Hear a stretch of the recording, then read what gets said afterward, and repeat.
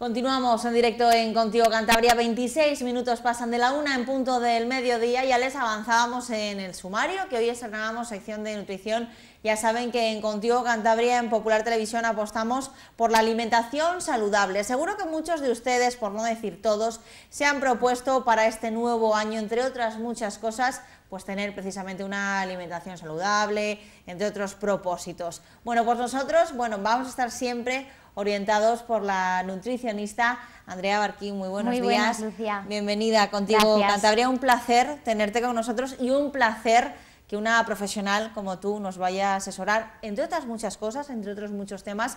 Pensábamos, ¿verdad?, que para esta primera charla, 2020, año nuevo, aunque ya casi ha pasado un mes, seguro que muchos de ustedes, igual alguno hasta ya ha abandonado esos buenos propósitos. ¿Qué es lo que tenemos que hacer para mantenerlos? ¿Qué es, qué es lo primero que tenemos que, que poner en práctica a la hora de decir, voy a tener una alimentación saludable, me voy a poner a dieta, por ejemplo? ¿Qué es el primer paso que tenemos que dar? Bueno, Lucía, pues yo empezaría por marcar objetivos. Bien, Si no tenemos unos objetivos claros, es muy difícil eh, continuar o plantearnos que podemos tener hábitos a largo plazo. Entonces, Bien. siempre marcarse objetivos, podemos tener un objetivo general, pero sí que es cierto que es mejor que tengamos algunos más específicos. Entonces, si nuestro objetivo general, por ejemplo, quiere ser comer más sano, ¿sí? ¿sí? Eh, pues entonces eh, vamos a ver cómo vamos a comer más sano. ¿Qué vamos a hacer para comer más sano? Bien, entonces marcaríamos más objetivos a, a corto Ajá. plazo. Es decir, por ejemplo, voy a comer tres piezas de fruta al día. Vale. ¿m? O sea, O, objetivos es. reales, Reales, y, un es. poco también quizá a corto plazo para que los vayamos cumpliendo, ¿no? Efectivamente. O sea, primer paso, imagínate, eh, de aquí a junio voy a hacer no sé qué, no, mejor No. a corto plazo. Siempre mejor a corto plazo. Puede ser que me voy marcando objetivos semana a semana Ajá. o también podría ser que me vaya marcando objetivos pues, a 10 días, a dos semanas, pero siempre mejor a corto plazo. Así me es mucho más fácil cumplirlo. Y siempre tengo algo en mente, porque si los marcamos tan a largo plazo, al final nos olvidamos. Y es cuando no cumplimos ese propósito. Andrea, me hablabas también de elaborar un plan de acción. ¿En qué Eso consiste es, esto? Eso es. Bueno, un plan de acción yo lo que haría sería, tengo los objetivos ya pensados, voy a ver para qué quiero hacer esos objetivos y sobre todo, qué voy a hacer para cumplir esos objetivos. Entonces, si tengo tres objetivos, por ejemplo, quiero comer más fruta, como hemos dicho Sí. antes, voy a ver cuándo voy a comer más fruta, en qué momento del día, a qué horas, me la tengo que llevar al trabajo, entonces lo planificaré un poquito. Si no, puedo comprarla afuera, bueno, Sí. ya me organizo. Pero voy a ver cómo voy a hacer para cumplir ese objetivo a corto plazo. Y es importante también quizá otra de las claves para mantener en firme estos propósitos, Sí. es apuntar y llevar un registro eh, de lo que hacemos. Claro, eso es porque cuando escribimos las cosas siempre somos muchísimo más conscientes que si no las escribimos. Ujú, eso Con es lo verdad. cual, al ir registrando que yo voy haciendo lo que me he propuesto, por ejemplo, de lunes a viernes puedo tener un pequeño calendario, mismamente en la agenda, voy, si lo voy haciendo, voy viendo que voy cumpliendo y si por el contrario veo que no lo voy cumpliendo, siempre soy más consciente y al día siguiente me esforzaré más en hacerlo.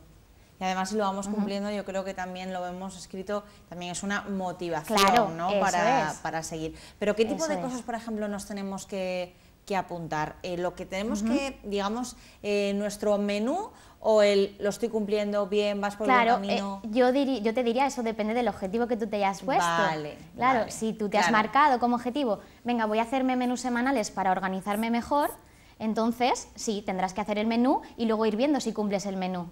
Si como hemos dicho, puede ser comer más fruta, pues simplemente voy registrando que voy cumpliendo con las dos raciones o tres raciones de fruta al día.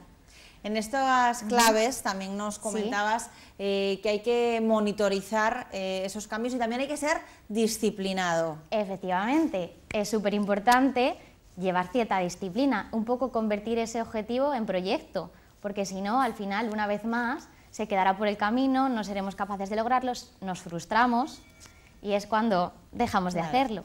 Eso es. Entonces, monitorizar los cambios en el sentido de que si yo voy viendo y voy comparando cuando voy cumpliendo, que voy notándome que estoy más alegre mismamente, que me encuentro mejor, que tengo más fuerza física, etcétera, etcétera. Si eso lo voy monitorizando, siempre me motivo más. Entonces, por supuesto. podré añadir nuevos objetivos o simplemente continuar mejorando los nuevos que ya tengo. También nos hablabas, Andrea, de buscar una motivación trascendental. ¿Qué es esto de la motivación trascendental? Pues mira, Lucía, con esto me refiero a que yo si quiero cumplir algo o quiero hacer algo, necesito una buena motivación, necesito algo por lo que realmente quiero cumplir ese objetivo. Eh, muchas veces hacemos algo porque fulanito me ha dicho que es mejor o porque el médico me manda que tengo que comer mejor, pero realmente el que tendré que comer mejor o cualquier cosa o que tendré que ir al gimnasio soy yo. Entonces, tengo que buscar esa motivación. ¿Para qué quiero yo cuidarme? ¿Para qué quiero yo intentar encontrarme mejor?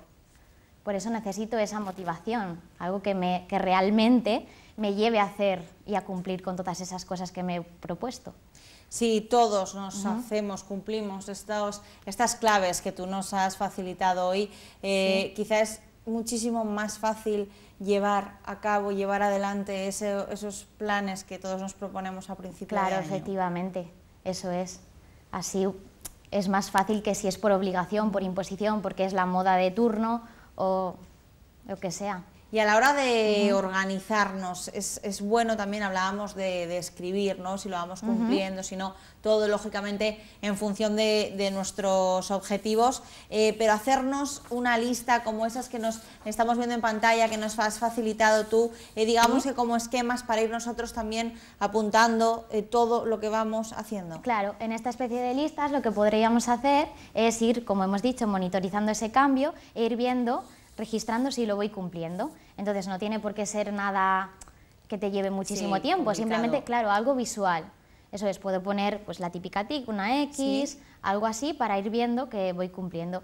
No me hace falta poner miles de objetivos, yo recomiendo que se sea un poquito más concreto, pero así cada semana, si yo me voy planificando y organizando, me es más fácil después ir cumpliendo. Y está claro que tenemos que contar a todos los telespectadores y también, Andrea, tú como nutricionista, que es que efectivamente son muchísimos los beneficios que vamos a notar y que nos tenemos que tomar en serio, ahora que tenemos tanta información y a la vez tanta desinformación, podríamos decir, también. Eh, tomarnos en serio eh, que hay que tener una alimentación saludable, que por supuesto todos eh, algún día tenemos esos caprichos, quizá cometemos excesos, pero que en el día a día tenemos que cuidarnos, Andrea. Eso es. Aquí sí que yo pienso que es más el día a día, la rutina que tú tengas, que solo un día puntual, que una cena, una comida. Hay que tener caprichos, obviamente, pero también se tiene que tener una buena rutina, una buena alimentación y de verdad que esto luego se nota a nivel físico, a nivel mental. En todos los aspectos, ¿no? En todos los aspectos, en, el humor. sí. O sea, yo creo que al final cuando uno se mm. encuentra bien consigo mismo, cuando uno está cumpliendo todo aquello que, se propone, es que eso se nota. Sí, Totalmente, totalmente. No tenemos por qué ver cambios físicos rápidamente, que muchas veces eso es, el objetivo que tenemos todos real a corto plazo cuando eh, queremos, queremos adelgazar, lo mm. queremos todo a corto plazo. Pues no, lo saludable lleva un camino más a medio largo plazo. Eso es. Eh, también las expectativas siempre están muy altas y no somos conscientes ni somos realistas, por eso previamente hemos dicho que tiene que ser un objetivo realista, porque lo queremos todo ya y sin hacer ningún cambio. Y esto no es realista para nada. Entonces, pues en ese sentido sí que tienes tu razón, que habría que centrarse un poquito más y, bueno, ¿me entiendes? Sí. Bueno, pues de mm. todo esto, hoy eh, Andrea nos ha dado las claves para mantener, para hacer reales esos propósitos que todos nos hemos marcado en 2020, con Andrea, lógicamente, en lo que alimentación respecta y a lo largo de las próximas semanas seguiremos charlando de su mano y asesorándonos sobre multitud de aspectos. Andrea Barquín, un placer que hayas estado en Contigo Igualmente, Lucía, encantada de estar contigo. Hacemos una breve pausa y estamos de vuelta.